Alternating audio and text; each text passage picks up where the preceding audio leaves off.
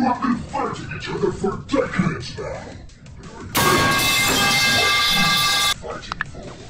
Prove yourselves. Fight each other.